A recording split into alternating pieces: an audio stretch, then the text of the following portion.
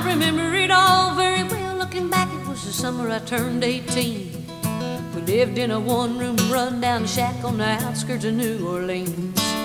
We didn't have money for food or rent, to say the least, we were hard pressed. Then Mama spent every last penny we had to buy me a dancing dress. Well, Mama washed and combed and curled my hair, and she painted my eyes and lips. Then I stepped into a satin dancing dress that had a split the side, clean up to my hip. It was red velvet trimming and it fit me good. Standing back from the looking glass, there stood a woman where a half-grown kid had stood. She said, "Here's your one chance, fancy, don't let me down."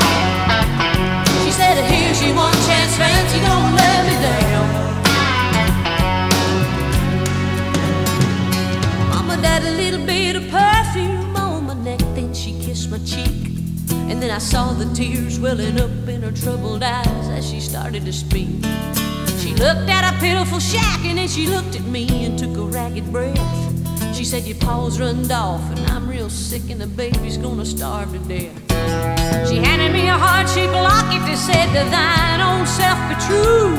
And I shivered as I watched a roach crawl across the toe of my high shoe. It sounded like somebody else who was talking, asking, Mama, what do I do?